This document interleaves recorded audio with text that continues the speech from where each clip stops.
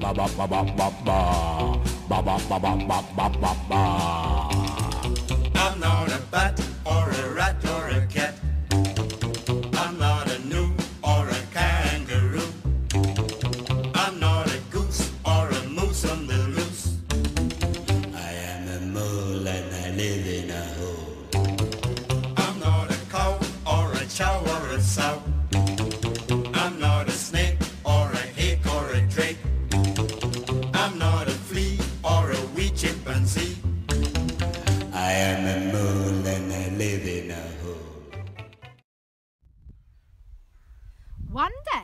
the little mole poked his head out from underground to see whether the sun had already risen.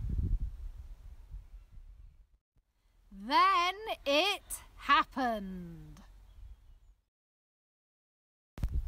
It looked a little like a sausage, and the worst thing was that it landed right on his head. How mean! cried the little mole. Who has done on my head? But he was so short sighted that he couldn't see anyone around. Did you do this on my head? He asked the dove who was flying past. Me? No, how could I? I do it like this, she answered. And splish, plish, a moist white blob landed on the ground right next to the little mole. His right leg was splashed with white. Did you do this on my head? He asked the horse, who was grazing in the pasture. Me? No, how could I? I do it like this. And flump, plump, five big fat horsey apples plopped down within a hair's breadth of the mole. He was very impressed. Did you do this on my head? He asked the hare. Me? No, how could I? I do it like this, answered the hare. And rat-a-tat-tat, fifteen little round beans shot the mole's ears.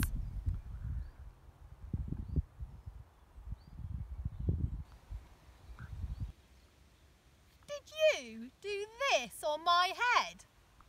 He asked the goat, who had been dreaming a little. Me? No! How could I? I do it like this, she replied. And plippity plop, a pile of toffee coloured little balls tumbled onto the grass. The little mole found them almost appealing.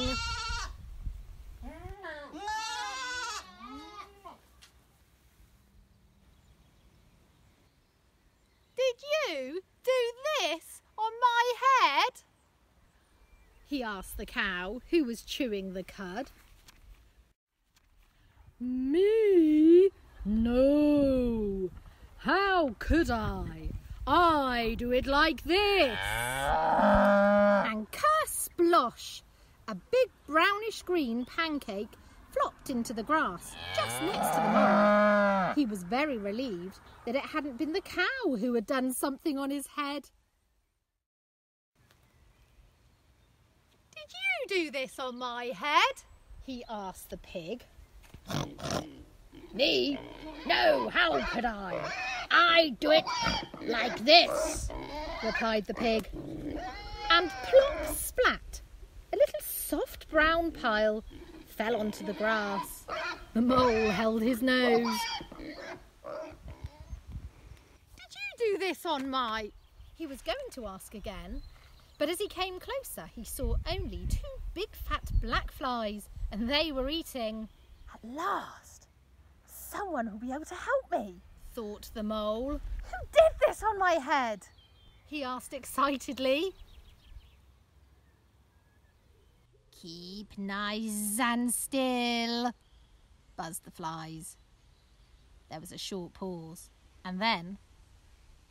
It is clear to us that it was a dog. Finally, the little mole knew who had done the business on his head. Basil, the butcher's dog. Quick as a flash, he climbed onto Basil's kennel. And pling! A tiny black sausage landed right on top of the dog's head. Satisfied at last, the little mole disappeared happily into his hole underground.